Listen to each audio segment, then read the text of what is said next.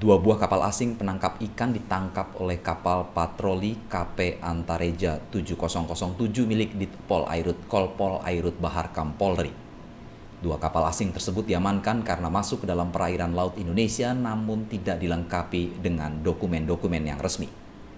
Dirpol Airut Polda Sumatera Utara Kombes Pol Roy HMC Hombing mengatakan penangkapan kapal asing ini bermula ketika petugas sedang melaksanakan patroli rutin yang dipimpin oleh Komandan Kapal Kompol Yefri Dixon yang melihat dua kapal asing penangkap ikan yang mencurigakan.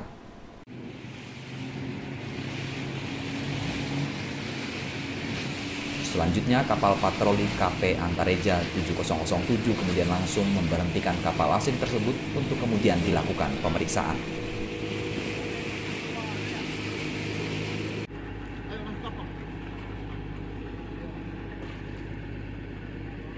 Sudah ini.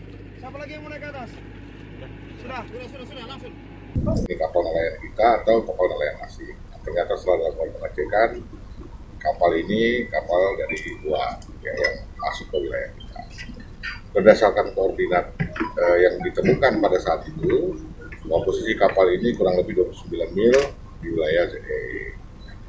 Untuk selanjutnya, eh, kapal ini kita persangkakan dengan pasal 92, 93 Undang-Undang Perikanan. Ya.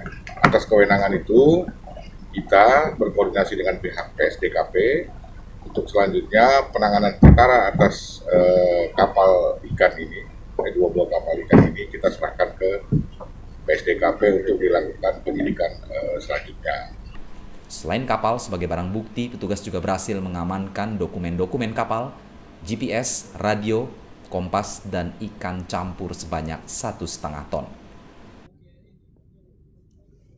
Dari Sumatera Utara, Parsaran Sitorus, Tribrata TV, salam Tribrata.